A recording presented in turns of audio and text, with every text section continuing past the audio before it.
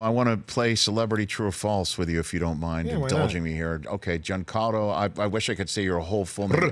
Esposito here on The Rich Eisen Show. Go for it. Celebrity true Keeping it real. or false? First up, Celebrity True or False. You, uh, Giancarlo Esposito, were one of the chorus of children who sang the theme song of the Electric Company. True. We're gonna turn it on. We're gonna bring you the power. What? yes. How did know, that happen? What? You know, uh, I got a chance to to go for an audition for that, and uh, I was also auditioning for Sesame Street at the same time. They said you're not going to get this, but we're doing a spinoff on the Electric Company. We want you to sing the song in the studio and make some guest appearances. So they said to you, how old were you? Oh my goodness, I was like nine years old. So they said to you, nine years old, hey, look, uh, we can't put you on the street, but we got the company for you. That's right. We're gonna. Can you? Well, let's. You got the electric company, but we couldn't. We can't fit you on Sesame Street. Couldn't huh? fit me on Ses- Sesame Boy, Street. You know, Morgan Freeman on. had Yeah. done that Sure. early on, and He was uh, easy reader. He was easy reader. Wow, where did we Oh, come from? Oh yeah. yeah, pretty amazing. Oh yeah, I remember him as Easy Reader. Yeah, I was- could I could do that song off the top of my head too. So that's wow, unbelievable.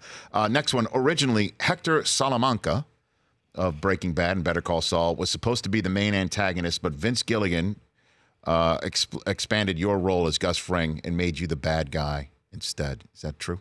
False. False, from what I understand. Unless there's something I don't know.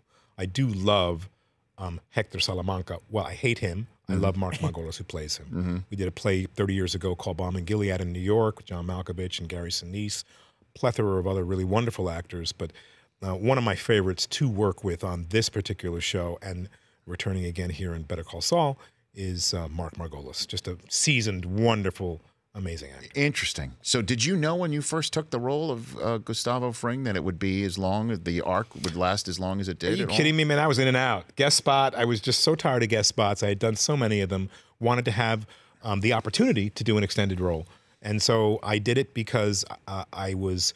I looked at it. I said, "Send it to me." I, I turned them down a few times. They sent it to me. I love what was happening. So I expected to go in and do an, a guest episode and be out.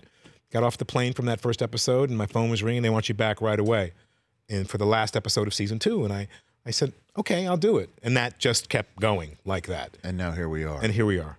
Yeah, and you were and you were first nominated for your role uh, in it in 2012. Here we are in 2018. I know it's amazing that Breaking Bad. It's been such a time has passed since Mm-hmm. I was there uh, as Gustavo in Breaking Bad. Never thought I'd return to Saul. Really loving that I have. Very different show. Very slow burn. Uh, very. It's a smaller uh, playing field, which allows the opportunity for such great writing that Vince Gilligan Gilligan has provided, and also Bob Odenkirk. Just is just a powerful force in this dramatic show, and also funny as well. Yeah, he is, no doubt about it. Uh, another one. Your first screen credit uh, is Clay Tynan in Guiding Light. Is that true? Is that your first? Gig? True. Wow, you do your homework. Well, really was excited to do that show Yeah. because I was doing plays at that time. Soap opera is like a play. I was a bad guy then as Clay Come Tynan. on now. Yeah, I burnt down the gym. Clay burnt down the gym. I burnt down the gym. Is Tried it- to lead another boy astray. Come on, come, let's rob the convenience Guiding store. light. When he wouldn't do it, I said, let me burn the gym instead. So was it your your skills, uh, soap op- uh, opera skills, that got you on uh, Trading Places as well? I, I Is that- think I think it's very very possible. You know, at that point in time, you know, things were. I was a little larger than life, so I had to learn how to tone it and bring it back. Of course, with Gustavo, you see that I probably succeeded in that effort. Um, but then. Um, people need energy. People want to be around good energy, which is why, by the way, I keep coming back here because you have such a great energy. Thank you. Yeah. Appreciate so, that. Yeah, no, it's the truth. So when I did a film, um, Night on Earth, and I was sitting with Paul Auster, wonderful author, um, and Wayne Wang, wonderful director, we want your energy to start off this film. So very similar in Trading Places, you know, to be a background player, but then to have enough um, energetic energy level to play behind a guy like Eddie Murphy, pr- pretty much of an honor. Yeah. Was, was- what is was it like on the set? Was it was that a fun set or was fun that set.